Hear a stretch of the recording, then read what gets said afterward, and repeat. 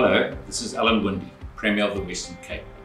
Firstly, I'd like to welcome the President's announcement because we all know that coronavirus is an international crisis.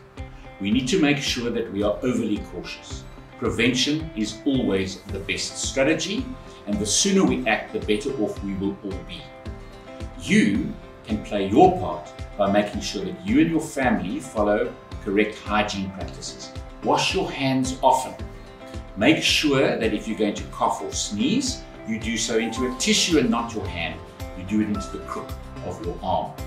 Because it's that's how we, pass the disease on or the virus on and that comes to distance social distancing. We need to make sure that we create space uh, between each other. And more importantly if you have flu-like symptoms please stay at home. Then you need to call the hotline number that's the 0800 029 999 number or our provincial number, which is 021 928 4102. They will then help you make decisions on what to do next. Our health and medical professionals are updating me on an hourly basis, and I promise you that I will keep you informed of any changes.